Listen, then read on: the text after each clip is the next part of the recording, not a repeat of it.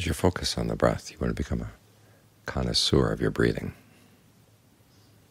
What really feels good right now? What would you like to feel in your torso? What would you like to feel down your back? What would you like to feel in your shoulders, your arms, and legs, different parts of the head, all over the body? If you can't take care of all of them all at once, go through them section by section. Get a sense of what kind of breathing would feel really good right there.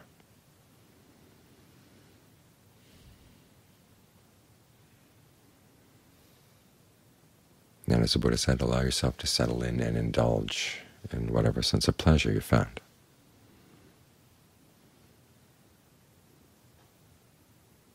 I don't know how many books I've read on meditation where as soon as they mention concentration, they warn you, don't get addicted to the pleasure, that it will deflect you from the path. Well, the concentration is the path.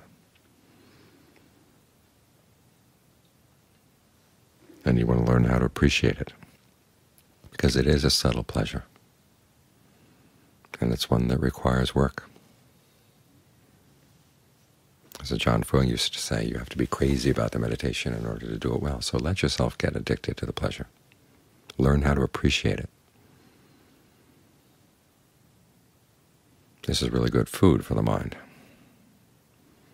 As long as the mind is going to feed, give it something really good, something that's really within your power to maintain. Because if you're not feeding here, where are you going to feed? You're going to go out and feed on sight, sound, smells, taste, tactile sensations.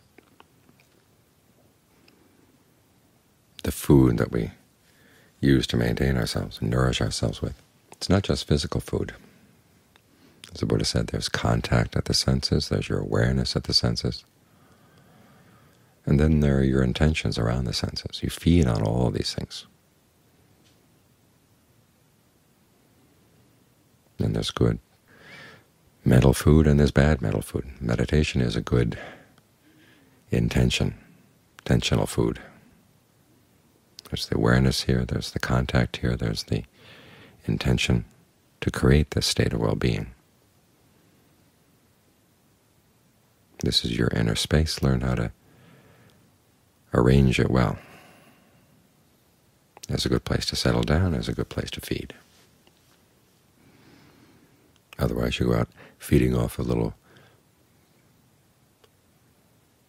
tidbits here, tidbits there, and try to gobble down all kinds of things that you want outside.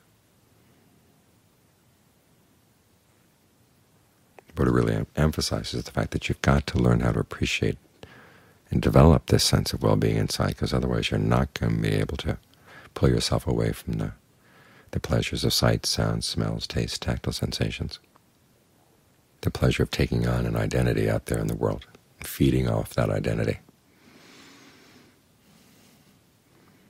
Because the problem with feeding is that we take it as the basic way we maintain ourselves as beings. It's our source of happiness, but there's an awful lot of stress, an awful lot of anxiety that goes in into the feeding. We basically get chewed on by the things that we feed on.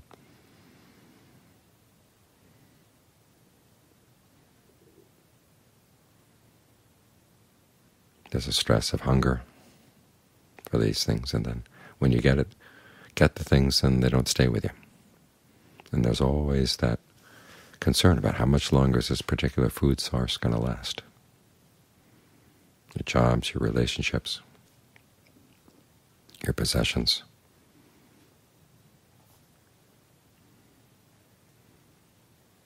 These things are always subject to change. And so there's a natural anxiety as long as the mind really needs to depend on these things for its happiness. There's going to be anxiety. So this is why you want to develop a sense of well-being inside that you can feed on. Of course, the concentration itself does have its drawbacks. It's not totally permanent, but it's a lot better than the things we feed on outside. And if you can shift your center of gravity inside,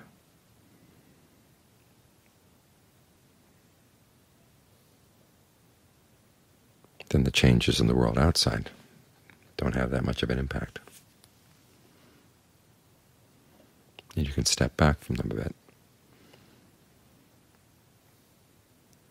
This is why disenchantment, nibbida, is such an important part of the path.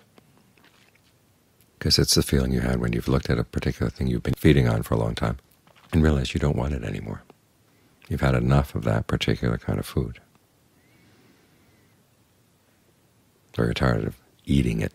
Let's put it that way. I mean, you can live in the world with things that you develop nibbida for. But that's not that sense of desperation around them. In other words, you don't have to give up your jobs and relationships. But you don't have to lean on them so much. You don't have to be so concerned about their changes. Because you've got a better source of food inside. One that's a lot more under your control. The other issue around feeding, of course, is that when things get desperate, will you be able to trust yourself to behave in a noble and dignified way?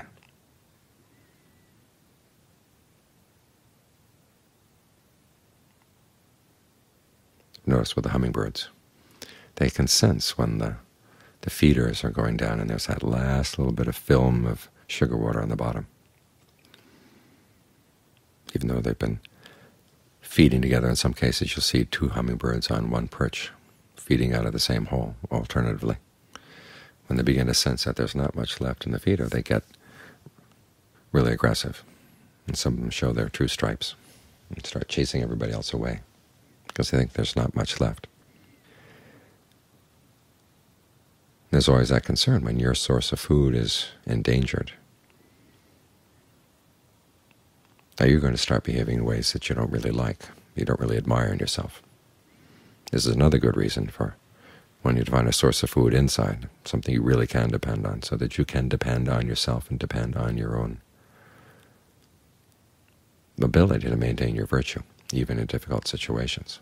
So a lot of good reasons for wanting to learn how to feed in here.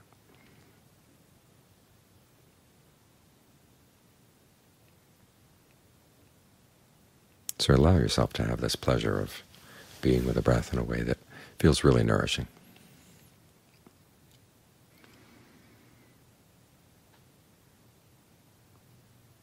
Because this can bring you a lot of calm. You can look at your life and see the things that you are afraid of afraid of losing, and you realize, okay, I can still live without them, be perfectly fine.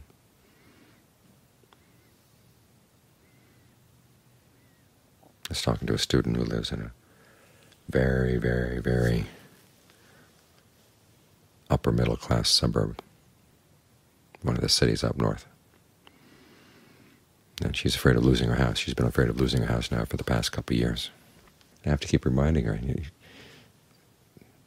living in that particular town is not the definition of happiness. There are lots of nice places to live elsewhere, a lot simpler.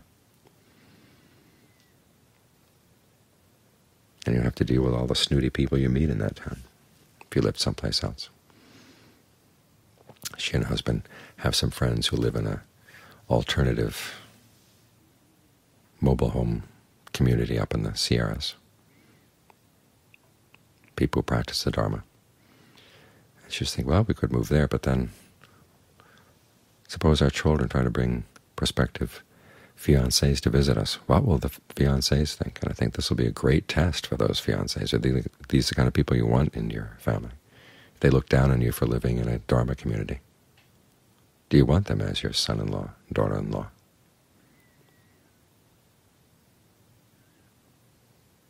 You have to learn how to step back from your situation and see that many times the things that you're feeding on, you'd be better off if you didn't have to feed on them.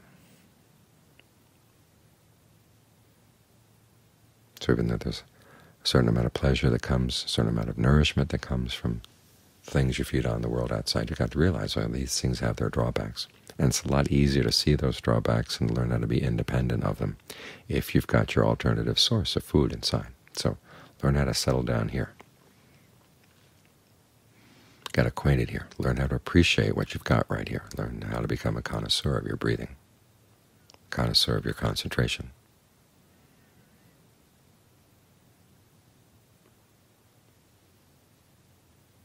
But that puts you in a much more secure position, a position of strength.